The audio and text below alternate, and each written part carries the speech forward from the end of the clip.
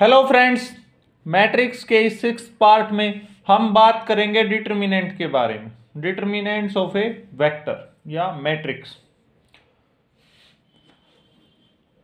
how to associate an expression और a number real और complex called determinant to every square matrix of a मान लेते हैं ये कोई मैट्रिक्स अगर इसका डिटर्मिनेंट निकालना है तो ये स्क्वायर मैट्रिक्स होनी ज़रूरी है यानी हर स्क्वायर मैट्रिक्स का ही हम डिटर्मिनेंट निकाल सकते हैं इसे डिनोट करते हैं या तो डिटर्मिनेंट डेट ऑफ ए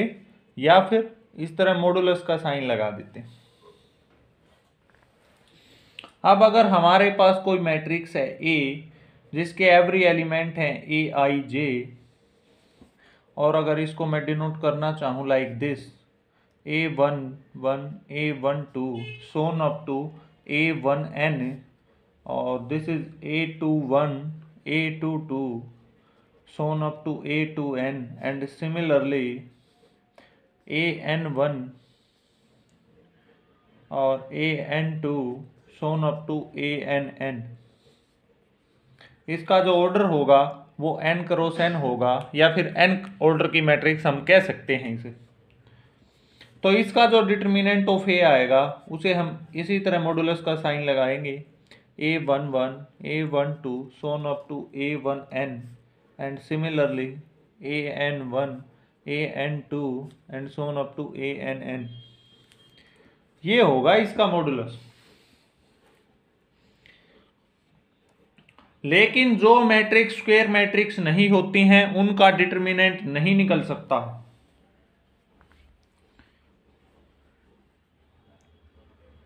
और एक चीज़ आप ध्यान रखेंगे कि डिटर्मिनेंट जो है वो एक स्केलर वैल्यू है determinant of a matrix is a scalar quantity but matrix is an arrangement of numbers and has no value लेकिन डिटर्मिनेंट की एक स्केलर वैल्यू होती है determinant of one cross one matrix अगर किसी वन क्रॉस वन ऑर्डर की matrix ए है जिसका एलिमेंट ए है तो इसका जो डिटर्मिनेंट आएगा वो भी क्या आएगा A is called the determinant of order one similarly जब मैट्रिक्स टू क्रॉस टू की होगी मान लेते हैं ए मैट्रिक्स है ए बी सी और डी इसके चार एलिमेंट हैं टू क्रॉस टू ऑर्डर की ये मैट्रिक्स है तो determinant of A is equal to determinant A B C D और इसको ये डिटर्मिनेंट है टू क्रॉस टू ऑर्डर का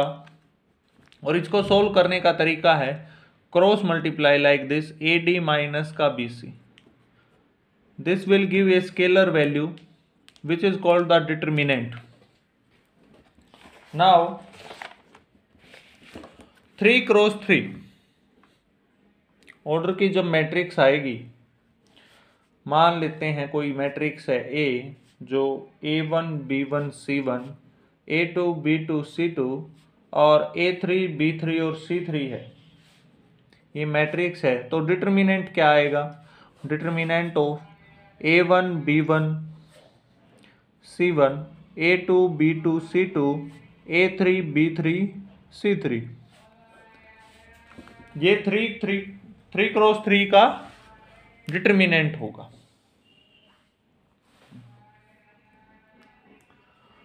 मान लेते हैं अब इसे सोल्व करने का एक तरीका होता है जैसे कि अगर टू क्रॉस टू ऑर्डर की हम निकालते हैं जो फर्स्ट एलिमेंट है A one one A one two A two one और A two two this symbol represent the respective row and column of the element तो डिटर्मिनेंट ऑफ ए को solve करने का तरीका है ए वन टू इंटू में a two two minus a one two into में a one two a two one यहाँ से एक वैल्यू मिलेगी यानी कि इनका क्रॉस मल्टीप्लीकेशन जो करते हैं ये तो टू क्रॉस टू ऑर्डर के लिए अब थ्री क्रॉस थ्री ऑर्डर के लिए हम डिस्कस करते हैं मान लेते हैं कि ये कोई मैट्रिक्स है थ्री क्रॉस थ्री ऑर्डर की तब हम इसमें क्या करेंगे एक फॉर्मूला हम ध्यान से आप नोटिस करेंगे इस चीज़ को अगर फर्स्ट रो के अलोंग डिटर्मिनेंट को सोल्व करना है इसको आप अलग अलग डिफरेंट रो के अलोंग सोल्व कर सकते हैं छह तरीके होंगे जैसे तीन रो के अलोंग आप एक्सपेंड कर सकते हैं या तीन कॉलम के अपोन आप एक्सपेंड कर सकते हैं मान लेते हैं मैं आर वन रो वन के अलोंग इसको एक्सपेंड कर रहा हूँ तब क्या फॉर्मूला आएगा वो आएगा ए वन कॉन्स्टेंट अब जिस रो को हमने एलिमेंट को लिया उसके रो और कॉलम को छोड़ करके बाकी को टू क्रॉस टू ऑर्डर से सोल्व कर देंगे तो ए वन इंटू में B two C three minus में बी थ्री सी टू और अब जो सिंबल आएगा ना आप इसे ध्यान रखेंगे ये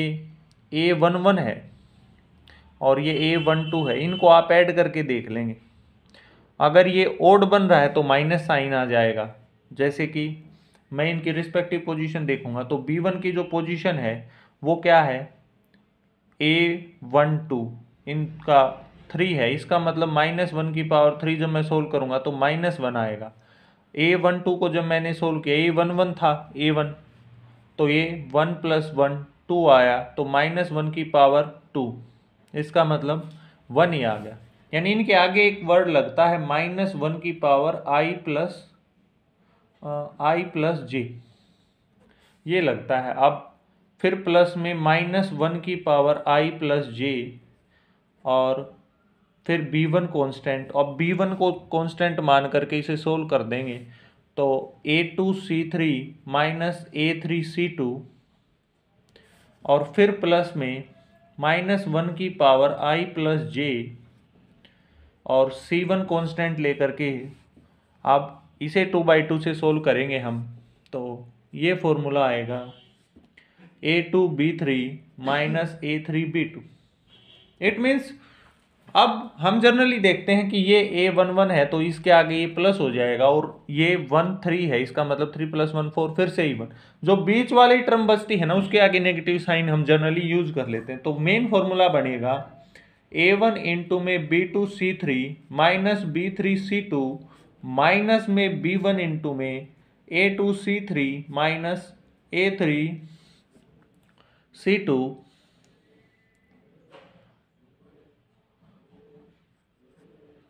and plus में सी वन इंटू में A two B three minus A three B two ये फॉर्मूला बन जाएगा डिटर्मिनेंट को सोल्व करने का यहां से ये एक कॉन्स्टेंट वैल्यू देगा आपको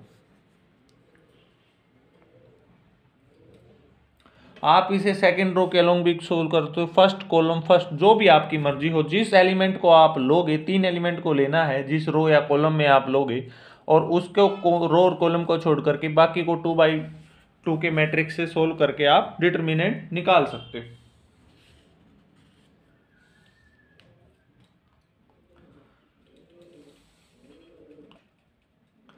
और माइनस वन साइन जो आएगा वो आई प्लस जे यानी कि आई जो है उस एलिमेंट की रो है और जे जो है उस एलिमेंट का कोलम है यह आप ध्यान रखेंगे एक चीज आप और पर्टिकुलर ध्यान रखेंगे अगर किसी भी डिटर्मिनेंट के अंदर कोई भी रो यानी रो के सभी एलिमेंट जीरो हो या फिर और कॉलम जीरो हो कोई एक कॉलम अगर जीरो होगा तो पूरा का पूरा डिटर्मिनेंट जीरो हो जाएगा आप यहाँ से देख सकते हो अगर एक रो या एक कॉलम हम लेते हैं अगर ये तीनों एलिमेंट जीरो हो जाएंगे तो फिर पूरा का पूरा डिटर्मिनेंट जीरो हो जाएगा डिटर्मिनेंट के साथ ही एक चीज़ और डिस्कस की जाती मैट माइनर्स के बारे में माइनर माइनर्स क्या होते हैं मान लेते हैं let A be a matrix of Aij, be a square matrix, is a square matrix of order n, such so that determinant of A is equal to determinant of Aij, then the determinant obtained by deleting the row and the column in which the element lie is called as the minor of the element. यानी कि मान लेते हैं ये कोई ए matrix है या determinant of ए हम जब निकाल रहे हैं ये है अगर A one one A one two A one three और A two one A two two और ए टू थ्री और A three one A three two और ए थ्री थ्री ये कोई डिटर्मिनेंट है अब इसका माइनर जो है हर एक एलिमेंट का माइनर निकाल सकते हो मान लेते हैं मैं किसका ए टू टू का निकालना चाहता हूँ एम कैपिटल एम से डिनोट करेंगे capital M of A two two आएगा वो डिटर्मिनेंट ऑफ इस रो और इस कॉलम यानी इस रो को और इस कॉलम को छोड़ करके जो डिटर्मिनेंट बच गया यानी A one one A one three A three one और ए थ्री थ्री जर्नली बहुत जगह पे आप थ्री बाई थ्री करीब थ्री बाई थ्री जो मैट्रिक्स है उसका ही डिटर्मिनेंट आप सोल्व कर रहे होगे क्योंकि काफ़ी बड़ा हो जाता है अदरवाइज इसके साथ एक टर्म और आती है को फैक्टर की कोई ये मैट्रिक्स है ए आई जे उसका एलिमेंट है और determinant of A determinant of A I J then the cofactor of an element A I J in A is the minor of A I J with sign minus one की power आई plus J अब आप ध्यान रखेंगे minor और को factor में बस इतना ही डिफरेंस है यहाँ हमने माइनर निकाला था सिर्फ रो और कॉलम को अब हमने ए टू टू निकाला था तो ए टू टू में आई की वैल्यू भी टू है और जे की वैल्यू भी टू है तो ये इसके को फैक्टर के ही बराबर आ जाएगा मान लेते हैं तो ये भी इसका को फैक्टर के लेकिन अगर मैं निकालता ए टू वन का तो ए टू वन का माइनर निकाल के उसके आगे माइनस वन लग जाता क्योंकि माइनस वन की power two plus one minus one हो जाती these are the some formula for solving the determinant अब बात करेंगे सिंगुलर मैट्रिक्स के बारे में singular matrix A square matrix A is said to be singular if its determinant is zero कोई matrix ए है और वो कैसी मैट्रिक्स है स्क्वेयर मैट्रिक्स है अगर उसका डिटर्मिनेंट जीरो आ जाता है इसका मतलब वो सिंगुलर मैट्रिक्स है और सेकंड इसका अपोजिट नॉन सिंगुलर नाम से ही क्लियर हो जाएगा ऐसी मैट्रिक्स ए जो स्क्वेयर मैट्रिक्स हो लेकिन उसका डिटर्मिनेंट जीरो ना आए उसे हम नॉन सिंगुलर मैट्रिक्स कहते हैं लेकिन आप ध्यान रखेंगे सिंगुलर और नॉन सिंगुलर जो मैट्रिक्स की टर्म है वो रेक्टेंगल मैट्रिक्स के लिए पॉसिबल नहीं हो सकती उन्हें यूज नहीं करते हैं यहां पर स्क्वेयर मैट्रिक्स होना जरूरी है ए और बी दो नॉन सिंगुलर मैट्रिक्स हैं सेम ऑर्डर की अगर हैं मान लेते हैं ए और बी दो मैट्रिक्स हैं और नॉन सिंगुलर मैट्रिक्स हैं ऑर्डर दोनों का मान लेते हैं एन है सेम ऑर्डर है तब ए और ए बी और B are also non singular matrix of same order इस चीज़ का आप ध्यान रखेंगे यानी कि जो ए बी और बी ए हमें मिलेंगे वो भी नॉन सिंगुलर ही होंगे और उनका ऑर्डर भी सेम होगा थैंक यू